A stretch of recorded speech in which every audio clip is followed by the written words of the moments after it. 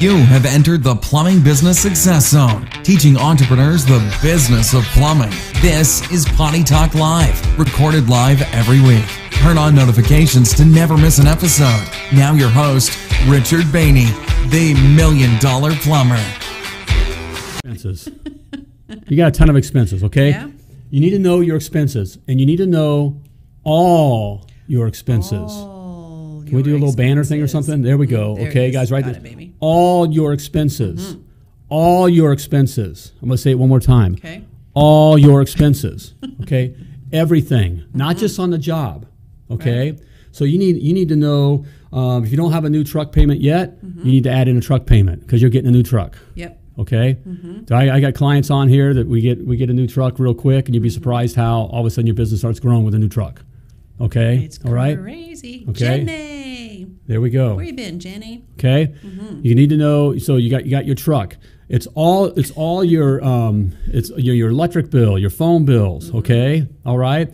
It's your salary. Okay, you are both. Okay, if if if you had to pay someone to run the company, Mm-hmm. okay. If you had to pay someone to run the company, you'd have to pay somebody, right? I mean, if, I mean, if you weren't running the company, you'd have to pay somebody to run the company. So that's a salary. What would it take to get that guy?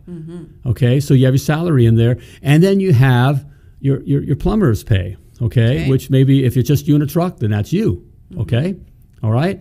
Um, you You have gotta pay somebody. right. You, ha- you work, have right? Mm-hmm. uniforms. Okay, you have your fuel. And have uniforms, guys. Okay, Have uniforms, please. Get uniforms. They're not Okay. that expensive.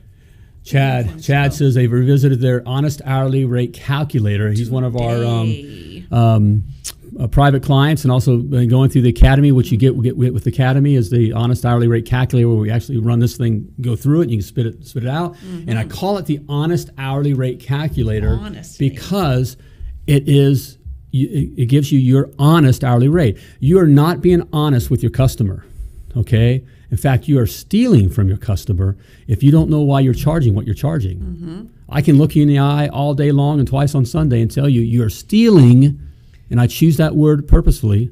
You're stealing from your customer if you don't know why you're charging what you're charging. So it's honest to the customer and it's honest to you. Yep. Okay? All right, you're in business. A business is meant to make money. what? There's nothing wrong with making money, okay? It's right.